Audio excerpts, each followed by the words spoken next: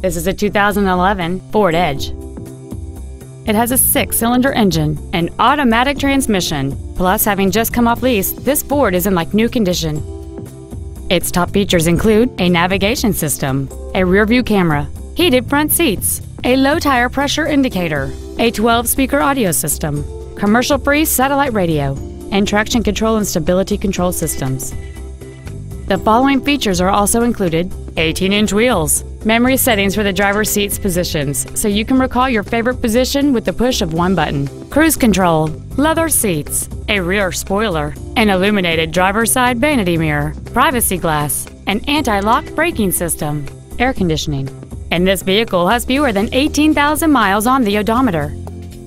We invite you to contact us today to learn more about this vehicle.